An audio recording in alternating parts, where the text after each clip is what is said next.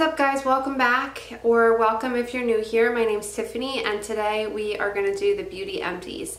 So I just recently uploaded my product empties where it was like home and lifestyle empties. So this is going to be strictly beauty empties and I'm just gonna grab from my little box here and just talk about the products, let you know what I think about them, if I would repurchase them or not. And yeah, let's just get started. So the first thing that I have is this big old bottle of Suave Rosemary and Mint shampoo. This is the only shampoo that Frankie will use. So I need to actually go to Walmart today and get him a new one because he doesn't like the one that I have.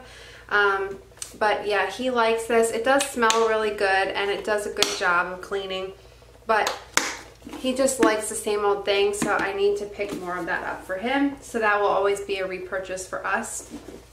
I went through a Bath & Body Works Amber Blush Ultra Shea Body Lotion. I love this one.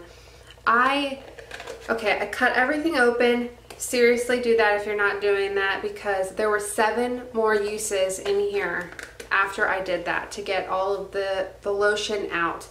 And this smell, I've never smelled it before. I actually got this one and I am in love with it. So if you have any recommendations of other scents from Bath & Body Works or any lotions that smell similar to this one, like that sweet, um, what is the notes? Raspberry champagne, gardenia petals, magnolia blossom, crystallized amber, and vanilla suede.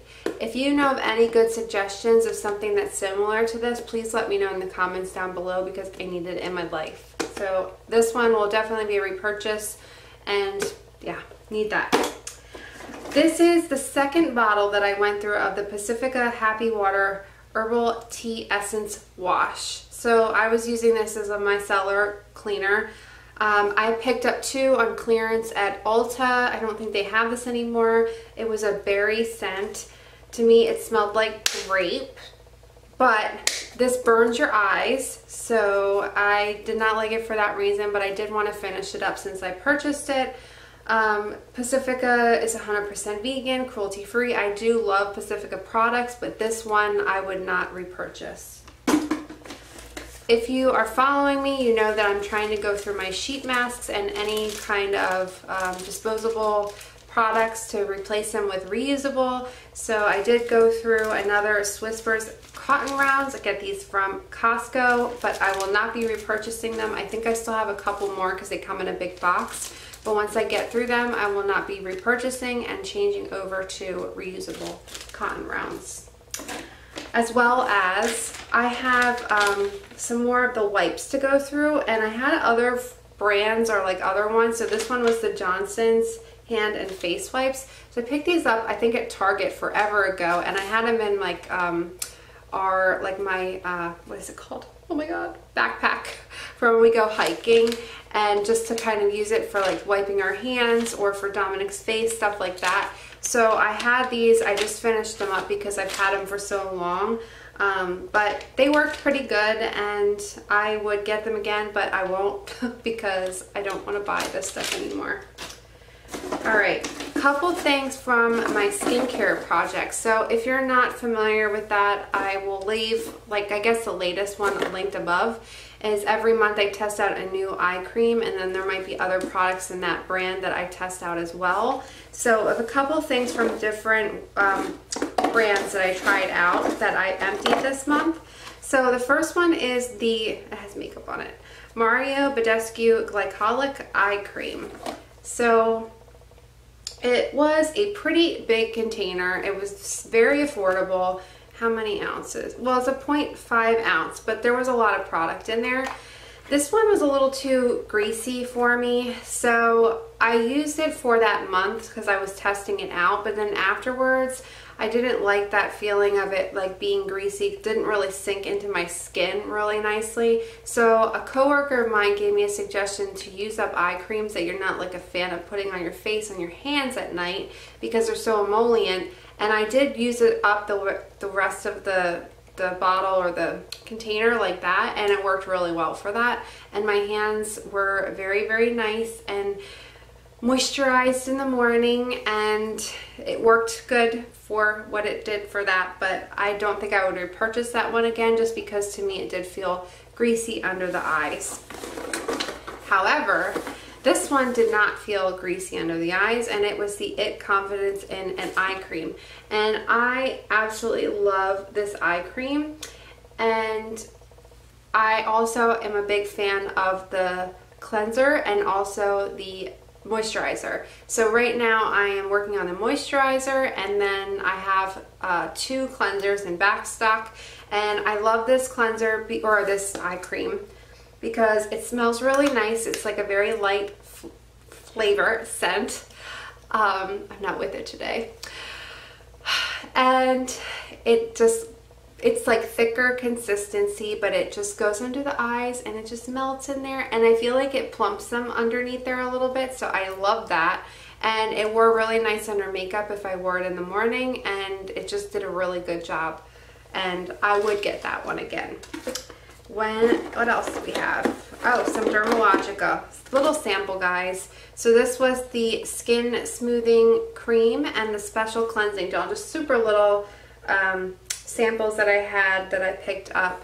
And I did like both of these products. Like in my video, I'll link that one above. I said that I felt like Dermalogica is just like a really good solid skincare line and that I think it would be pretty much good for anyone and I would probably if it wasn't a kit or something, I'd probably pick them up again, but I wouldn't go out and seek out each individual product. I don't know if that makes sense, but there's just so many other things out there that I would probably want to try first. But I feel like this is a really good, like, solid skincare line. So they were really nice. And they're unscented, so if you're not a fan of un or scented products, then you would like these.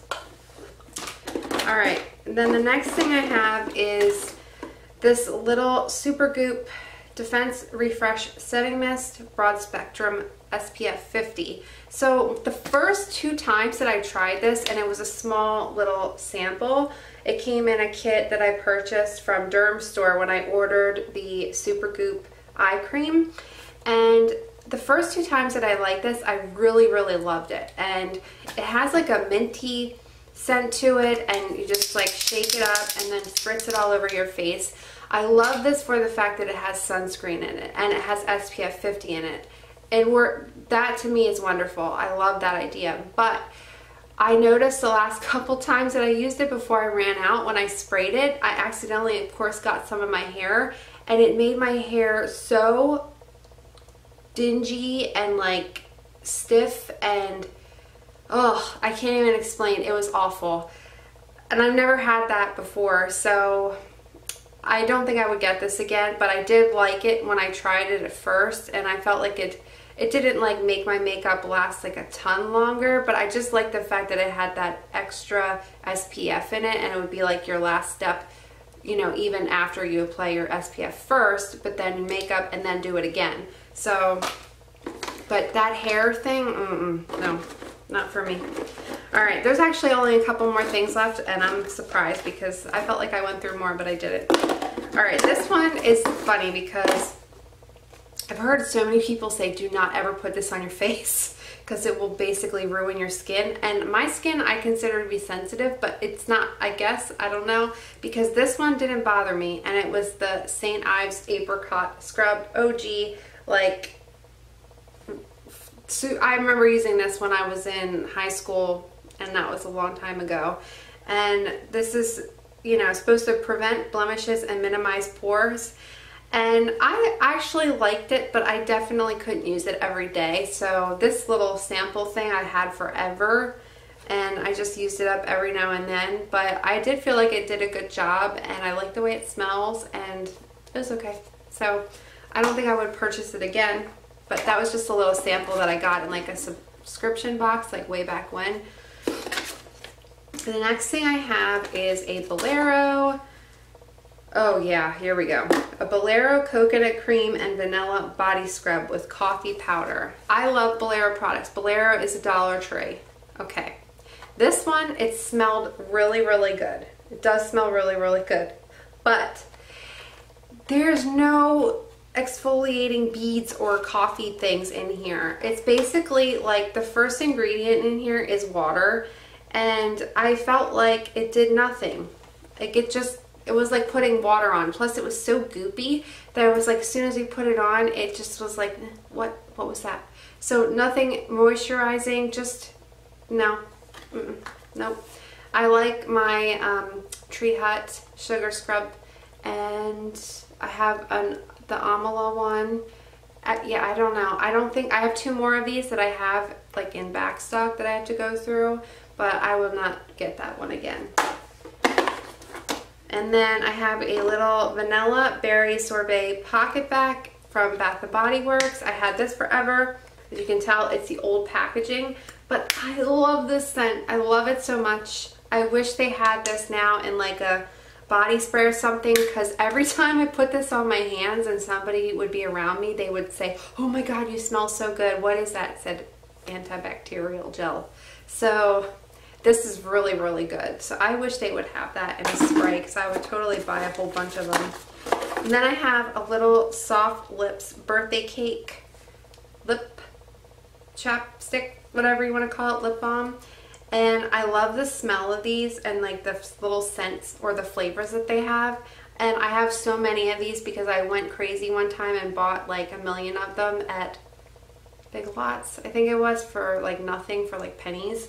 So I have so many of these to get through and once I get through them I probably wouldn't buy them again because I don't know. I just the amount of chapstick I have is just ridiculous.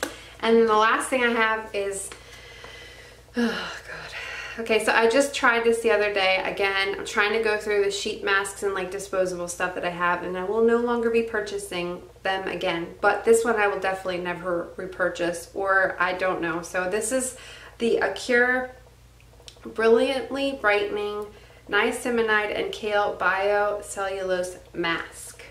Okay.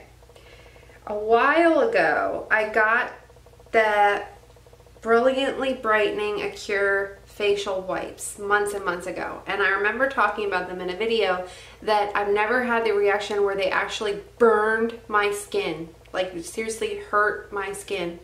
And then I finished them like an idiot because I spent money on them and I wanted to use them up. Same thing. This came from Grove. I bought this. It was the same line. And then I had it and I'm like, mm, it's probably not going to do the same thing because it's a different thing. It's not wipes and maybe it was just whatever, but not thinking it's probably the same stuff that's in there since it's the same line. I didn't think of that and I went to use this the other day and I put it on my face. First of all, it's that biocellulose mask. It's super weird. This one did not fit well on my skin, so I had to lay back with it and I kind of like had to keep pushing it down because it just wanted to keep coming up on me and but that's not even the point. So basically I put it on and within maybe two minutes my skin started to burn really really bad that I was like oh my god maybe I should take this off because it doesn't feel good and it's hurting.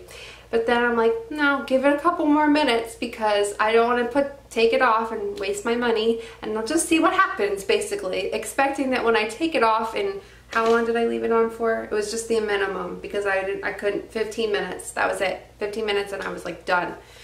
So I had it on and then I'm like, okay. And then the burning turned into tingling. So I'm like, okay, that's not so bad. I can deal with that. And I'm thinking as soon as I take this thing off, my face is gonna have this like red rash all over it. It didn't, it didn't.